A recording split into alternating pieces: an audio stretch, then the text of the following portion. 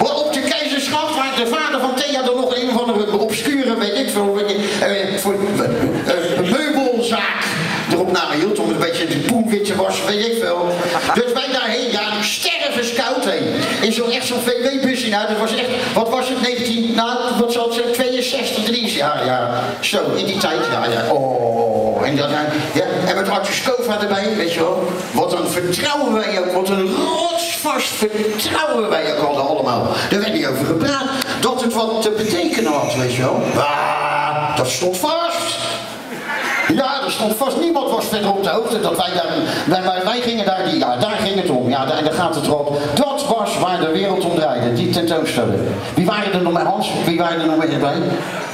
Ja! Hey, zie wel? Ja, ja, ja, ja, ja. Heb jij er nog foto's uit die tijd? was echt, was 1963, dat is godverdomme. 1963, ik bedoel, mensen die toen zijn geboren, die zijn nou een grootvader. Hè? Dat gaat hard.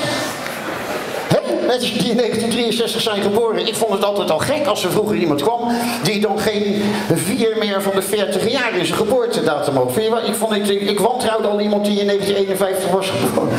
51, eh, weet je wel? Ja, nee, dat vond ik... Uh, ja, ik ben van 44, persoonlijk.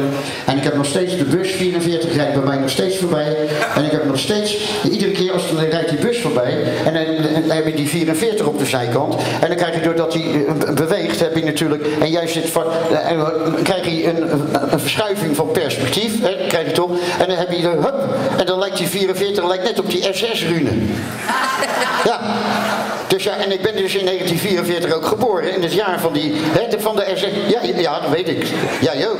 En wij, bedoel, ja, je kan lullen wat je wil, je kan, maar wij, wij, wij hebben toch wat bijzonders de lichting van 44. Hè? Zo, nou, die dat is dus het hart van de oorlog, hè? Dat, ja, ja, natuurlijk. Dat noemen ze hier de hongerwinter. Maar zo, iedere keer als die bus voorbij rijdt, is dan gaat er weer. Hè? Een ijzersterk symbool. Het lijkt net die vier, die twee vieren, dat is absoluut, als je het even zo ziet, zijn het, hè? Die SS-runen. Want ja, die kennen we wel, uh, Hitler, zijn, uh, die kennen we wel, Hitler hebben ze zijn postuum, zijn Duitse nationaliteit afgenomen, verleden jaar. En nou is hij weer Oostenrijker, hè? Ongelooflijk. Oké, nou dat doen we dus niet aan meneer. Wij hier erkennen ook Hitler als een van de groten der aarde. Ja?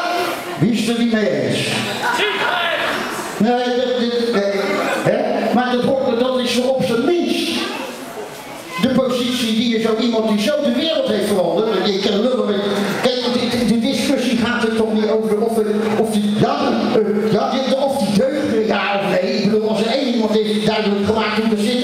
Daar hebben we het helemaal niet over.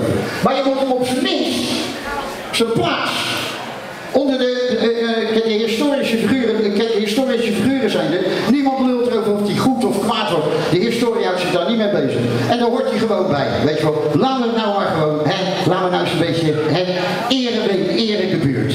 Hè? Toch? Oké, okay. dan uh, wou ik voortaan voor, voorstellen om het glas op margarijn te heffen. Want kijk, we gaan allemaal dood en dat is, uh, of je nou voor welk, welk is, wie ook dit en dat. En, we gaan allemaal dood, dat is juist wat ons allemaal gelijk maakt. Over, iedereen op de hele wereld. Lotgenoten zijn. He, die koningin zou ook niet moeten beginnen haar troon, haar troonvraag met landgenoten. Lotgenoten. Ja, daar ken je niet, daar ben je, je overal vanaf. Lotgenoten. Want dat zijn we gewoon. En ik daarom dat altijd gezeikerde gehoer van onderling om die, die, in die paar jaar die je zijn toegemeten, weet je wel. Hè, dat aan de andere kant uit heel lang, maar toch bij, om hier elkaar ook nog een beetje het leven zuur te gaan lopen. Terwijl je dadelijk als je dood bent, ben je even dood. Toch? Of denken die gasten dat je ook nog anders doodgaat? Als je de, dit, weet je wel, dat, dat maakt ons juist allemaal tot zusters of uh, wat voor huiskleur of wat dan ook. Het feit dat wij hier geboren worden op deze aardkloot, gevangenen van de zwaartekracht, ja, dat maakt ons allemaal gelijk. En daarom is Magerijn de enige democraat die ik herken. Dus die maakt ons allemaal gelijk. Dus jongens, het komt allemaal goed. Dus wat zouden we ons uh, druk gemaakt?